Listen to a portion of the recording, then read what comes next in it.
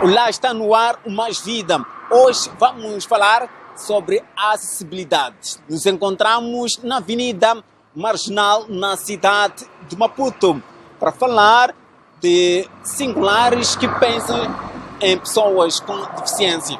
Falo do complexo residencial Caia Quanga. Vamos falar com Jaime Bila, que é o representante deste estabelecimento turístico a nível da cidade de Maputo. Sabemos que aqui o Caiaquanga é, emprega pessoas com deficiência. Pode nos contar um pouco é, dessa iniciativa?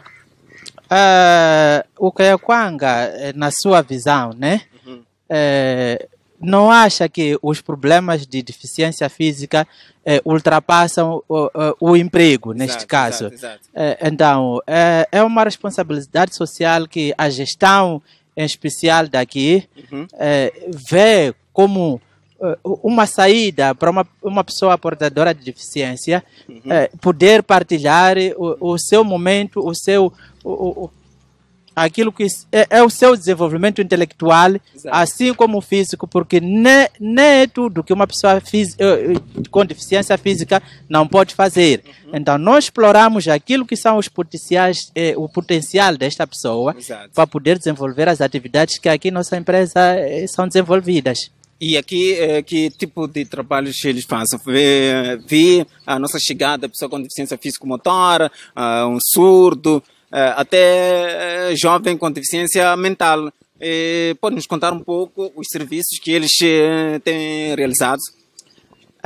para o portador de deficiência física, dou exemplo concreto do que está a acontecer agora. alguns estão destacados para o departamento da segurança.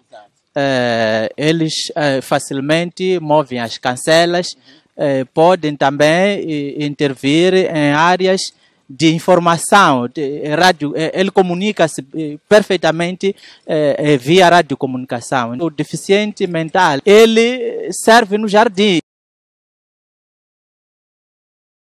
Seu nome? Francisco Nhaca. Há quanto tempo trabalha aqui? Estou aqui desde 2004. Exato. Como é que tem tido o seu trabalho aqui? Muito bem, fantástico o ambiente é super fantástico.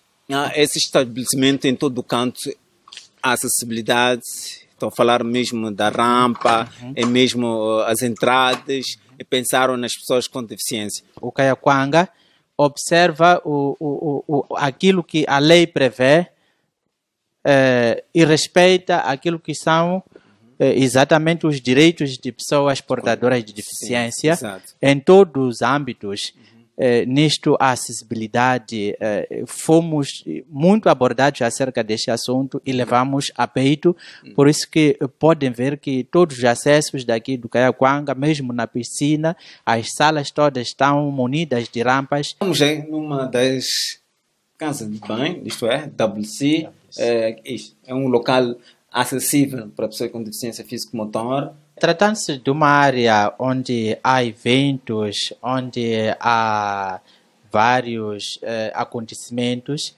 nós sabemos que há, há necessidades biológicas por eh, aqui acontecer. Então, eh, adaptamos esta casa de banho exatamente para pessoas portadoras de deficiência eh, física. Zé, depois de termos acompanhado aqui vários cenários, vários locais aqui de Caiacoanga, Jaime, um, que, que apelo que deixaria aos nossos telespectadores? Qualquer pessoa, a qualquer momento, pode também estar no grupo de que ou pode estar ou pode ser um portador de deficiência. Uhum. Neste caso, aconselho eh, a todos, os investidores, sobretudo das instâncias turísticas, que não estão a perder nada em montar o sistema de acessibilidade para pessoas portadoras de deficiência. É, pode ser uma mais-valia porque há muitas organizações a nível internacional, há muitas organizações a nível nacional que abordam este tema de pessoas portadoras e mesmo a nível de negócios pode ser uma mais-valia porque essas uhum. organizações movimentam massas de pessoas E, e- e são essas instâncias turísticas que devem acolher as pessoas com esta sensibilidade. Para si que esteve na nossa companhia, o nosso muito obrigado. Nós voltamos daqui a sete dias. Até lá.